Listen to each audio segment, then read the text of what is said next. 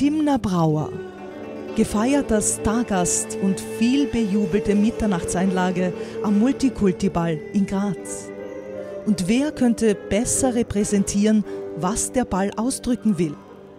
Ihre Mutter israeli-jemenitischer Herkunft, der Vater ein Otterkringer Wiener. Aber wo sieht sie ihre kulturellen Wurzeln? Ich fühle mich eben zu Hause zwischen den Kulturen, in, in, diesen Reisen, diesen tatsächlichen Reisen, aber auch den inneren Reisen.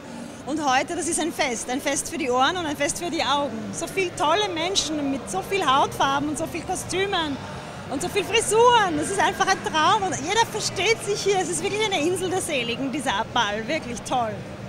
Sie rechnet auf Französisch, sie träumt auf Deutsch. Aber woran glaubt Timna Brauer? Also ich bin jüdisch erzogen worden.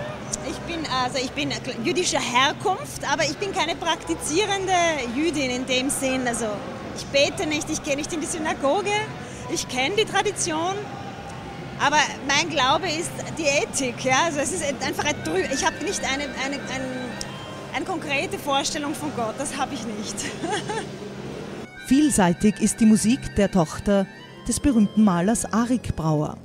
Von Jazz über Musical bis Ethno, aber immer für ein Miteinander der Kulturen, wie ihr Projekt Voices for Peace, in dem sie israelische und palästinensische Musiker gemeinsam auf die Bühne bringt. Gott sei Dank, also schon im zwölften Jahr. Wir haben weniger Konzerte wie früher, weil die Sponsoren rarer werden wie überall mit der Wirtschaftskrise leider. Und es ist ein sehr teures Projekt, weil so viele Menschen involviert sind, viele Künstler. Aber wir haben nach wie vor Konzerte in Israel und auch in Europa. Das freut mich sehr. Meist steht die zweifache Mutter mit ihrem Mann Elias, einem Jazzpianisten, auf der Bühne. Wie klappt das beruflich und privat ein Paar? Ja, das, das, Resultat ist so gut, dass auch wenn es Reibereien gibt, lohnt sich es, ja, weil es, weil es einfach stimmt. Jetzt hat Timna Brauer auch die Malerei wiederentdeckt, neben ihrer Berufung, dem Gesang.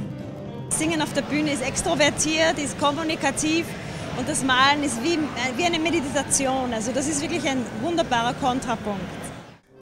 Und das nächste Projekt steht schon in den Startlöchern.